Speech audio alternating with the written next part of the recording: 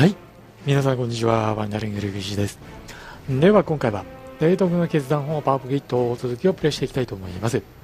えー、戦線をですねシンガポールまで伸ばして、えー、ようやくシンガポールも確保しましたというところをね前回お届けできたのかなというところで今回はですね、えー、シンガポールのその先ジャワ島攻略これを行っていきたいと思っています。まずはねこの Java に、えー、スパイを送り込んでいるのでこれの、えー、まあいわゆるスパイレベルのアップを待って、えー、艦隊をね送り込んでいきたいと思います。で艦隊はですね前回戦った艦艇第1、第2、第3艦隊をそのまま投入していきます。艦載機の消耗もほとんどないので特に問題はないかなというふうに思っています。で作っていた潜水艦が完成してますのでこの潜水艦をまたあ前線へと配備していきましょう。ではまず最初に輸送船をね、えー、何隻か作っておきたいと思います。これはシンガポールに即時配備というところですね。で、その後はいつもの内政なんですが、まあ、技術開発ですね。もうお金に余裕がある状況ではないので、まあ、一旦薄く入れちゃいましょう。で、物資援助は鉄。いや、だいぶ日本も充実してきたね、内容が。そしたら、えっと、まずは、ジブラルタル、状況を見ておきましょう。ジブラルタルの方は、えーと、潜水艦がね、この後入っていきますので、潜水艦の、潜水艦隊の待ちの状態です。で、もう1個の蓋、アイルランド沖、えー、ここにもちょっとね、潜水艦を増強したいなという思いはあるんですが、一旦このままにしておきましょう。アウド村とミーミル、ここにね、えー、艦載機入ってるので、これで一旦耐えしのぐというのを想定してます。でアイルランド沖なんですが、えーと少し、飛行機を増強しましょう。まず飛行機作っていきます。航空機、まあ、これはもう懲りずにバカラ爆撃しか今作れないので、えー、バカラ爆撃をそうだな数で言うと100機作っちゃいましょう。これでアイルランド沖増強します。バカラの爆撃機を大増強。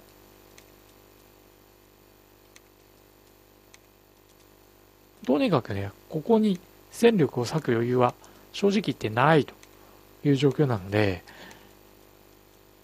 基地航空隊を増強して、それで耐えしのいでもらうという流れですね。アイルランド機はこれで十分でしょう。でジブラルタルはさっきお話したように、えー、潜水艦隊を増強予定なので、それを待ちます。では、これで時間を進めていっちゃいましょう。一旦だけ進めます。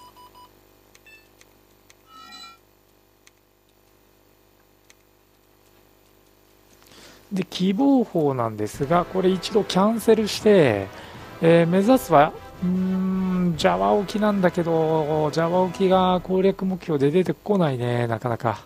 これはもうしょうがないですね。大本営と我々の目的があまりにもかけ離れているという状況ですからね。で Java 沖どうだろう？敵の艦隊入っていないのであっさり取れそうな気配ですね。これはこのまま進軍しましょう。あわよくばこのまま艦隊を先に進めていくという形にできれば一番いいですね。第4艦隊もいや第4艦隊はマラッカだな。マラッカが万万が一疾患するっていう事態だけはやっぱりどうしても避けなきゃいけないのでそうならないようにだけはしましょう。で技術開発今回は厚めに入れましょう。で物資援助は鉄です。で生産は航空機。バカラの爆撃機をまた作れるだけ作りましょう。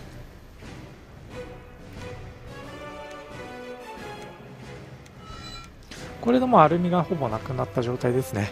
で艦船の方なんですがえっと一旦前回 H 型戦艦の発展型 H2 を設計中なので設計が終わったらね H2 の戦艦をえ、いくらか作っていければいいかなというふうには思うんですが、えっと、それ以前ではとりあえず一旦このままでいいかな。でマダガスカル、えっと、ここも一旦爆撃機増強しましょう。マダガスカルもね最前線なんですけどあのー、艦隊をね増強することはできないので戦力的に基地航空隊を増強していきましょう。まあ、こんだけ基地航空隊増強すれば十分に守りきれると思うので。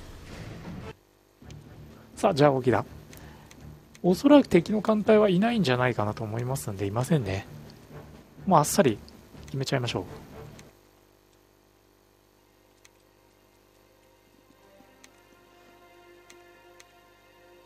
正規空母が数でいうと9隻入ってるのでまあ、何の問題もなく対応は終わるかなと思います。揚陸艦も持ってきてるんですが、まあ、特段揚陸艦を、えー、使い込んでいくっていう必要もないかな。あとは、いかにダメージ少なく、雨が降らないでくれるかという2点だけですかね。敵の艦隊はいないのが大前提です。さあ敵の爆撃機、攻撃機が早くも飛んでますが、味方の直縁は数も多いんで、落とせますね。ただし、おっと、空母が大破、早いな。何が起きてる？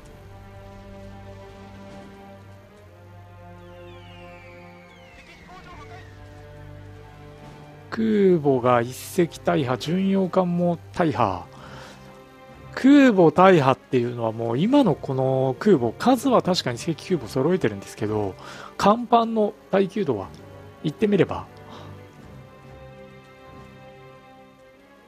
ざるというんでしょうか？あのー、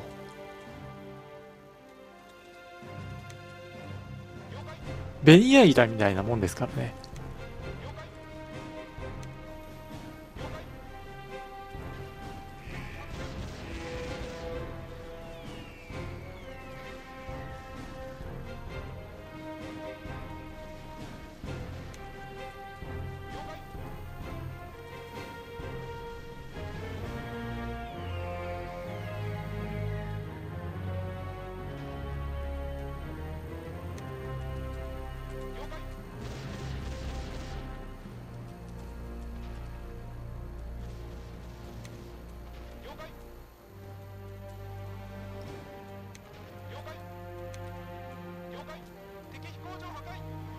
ん？これで決まったね。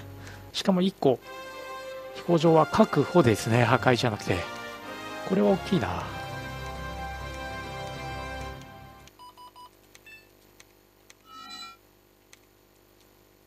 ただし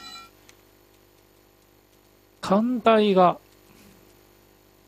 一つだいぶ傷ついてしまったのでえっ、ー、とジャワ沖に入っている艦隊のうち傷ついた艦隊ですね。第2艦隊これを一旦シンガポールでドック入りします。で並行して兵器開発今なんかだいぶ入ってきたよね、えー、航空水上レーダー。これは即時開発。戦略爆撃機も使う予定はあまりないんですが入れちゃいましょう。アングルドデッキ待ってたよ。これあるとね航空機の発艦速度がアップするって書いてある通り今100機を超える艦載機を持つ大型の空母なので発艦にかなり時間がかかっているというのがあるのでこのアングルドデッキが完成すると幾分発艦スピードがアップする。空母の場合だとね攻撃機あるいは爆撃機の攻撃回数がそのままその空母の攻撃力になるので攻撃回数が増えるっていうことはね本当にありがたいです。で技術開発は厚めに持っていきましょう。で物資援助は鉄を売っちゃいます。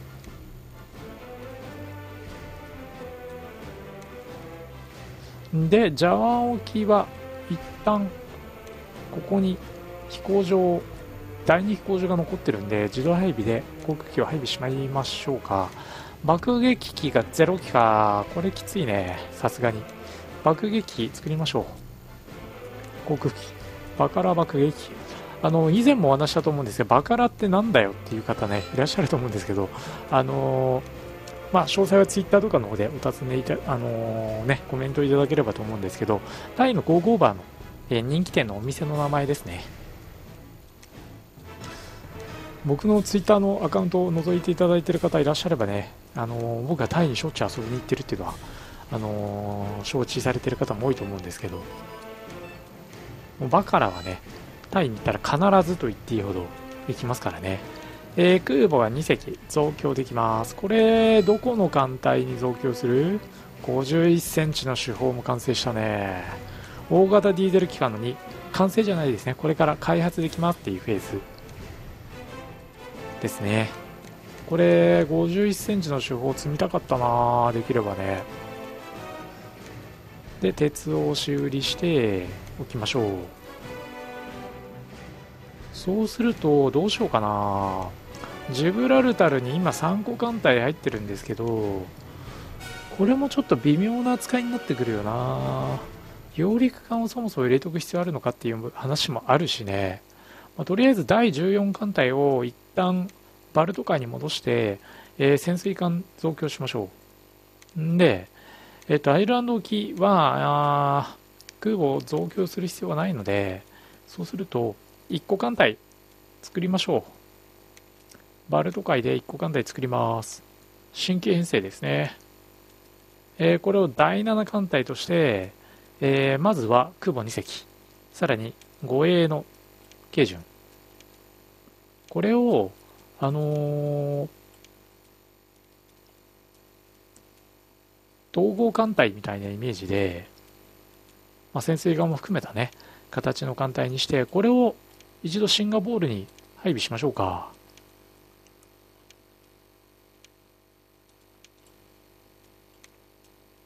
これを第12艦隊として、この第12艦隊を一路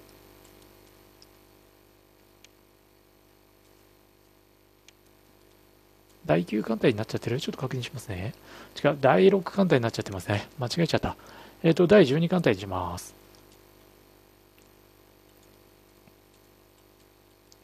これをシンガポールに駐留させる艦隊という位置づけにしましょう。なので、マラッカ海峡をシンガポールへ派遣します。でだ。次の目標は、セレベス海。セレベス海も敵の艦隊はいないね。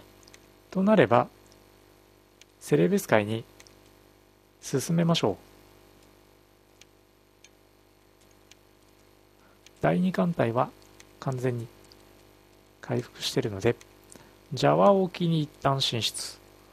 で、第1、第2、第3の主力艦隊を送り込んでいきましょう。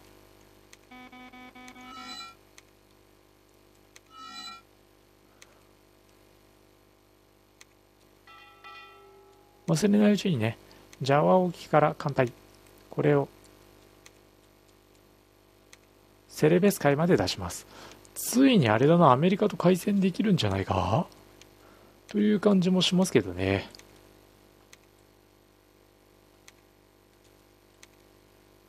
アメリカとの戦いが始まると、またちょっと消耗戦になりそうな感じもするので、その前にお金と鉄と使っておきます。で、さらに航空機ですね。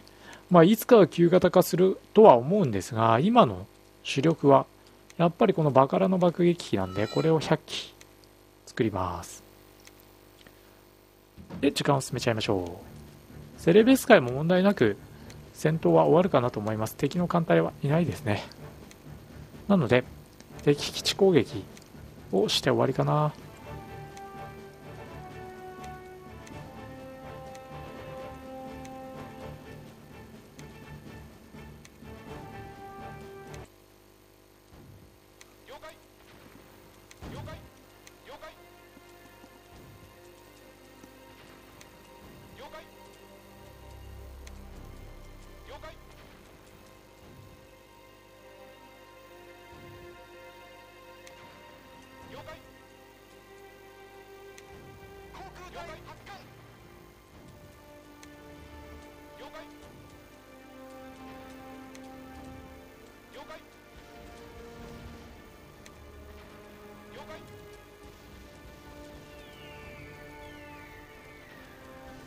さあ爆撃機がどうだろう？壊しちゃうと敵の飛行場を完全破壊しちゃうとちょっともったいないかな。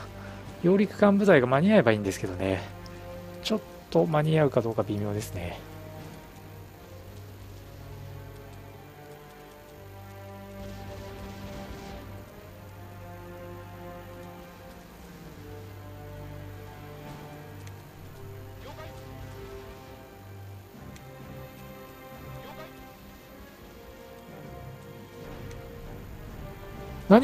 空母が大破してるぞ。いやー空母の大破は痛いわ。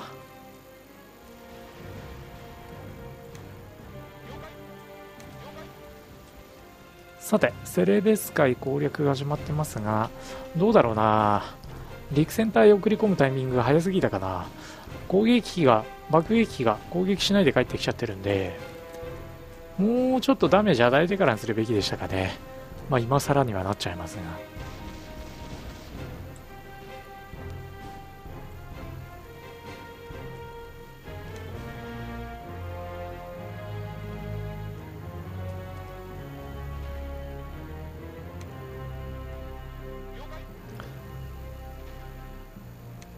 さあ敵は第2波攻撃隊が出てるな。これしのがないと沈むものが出てきちゃうな。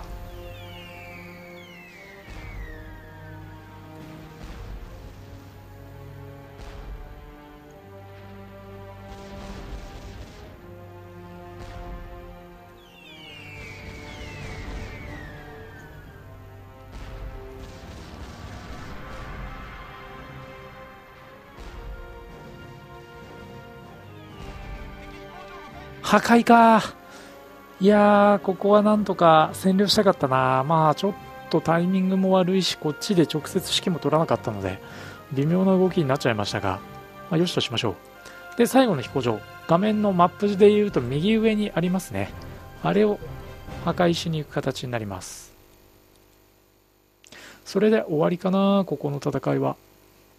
で敵の艦隊はいないのは確認済みなのでもう本当にえー、画面の右上に、マップの右上かな、まあ、画面でも右上になりますが、えー、にあるセレベス界の最後の敵の飛行場、ここを破壊します。ここですね。ちょうど今画面出てきましたけど、時間的にはおそらく、えー、まあ、夜になってしまうので、えー、次の日、2日目に攻撃することになると思います。で、前回動画見ていただいた方はね、あのー、ご存知かもしれませんが、今、夜間離発着可能なあ航空機開発中なので、これ開発終わったらね、もうすぐに戦線に投入できるように設計、えー、した上でね、えー、投入していきたいなというふうに思うんですが、今は夜間はもう戦力がないに等しいという状況ですからね。さあ、もうすぐ夜が明けてきます。そしたら、最後の敵飛行場に対して攻撃機を送っていきましょう。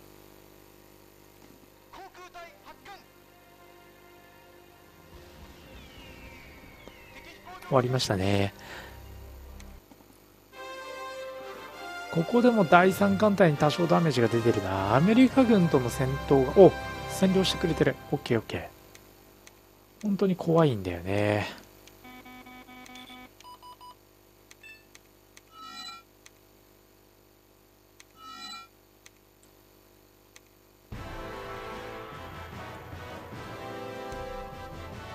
さあ、次の攻略もこれカナリア沖とかになっちゃうんだよね。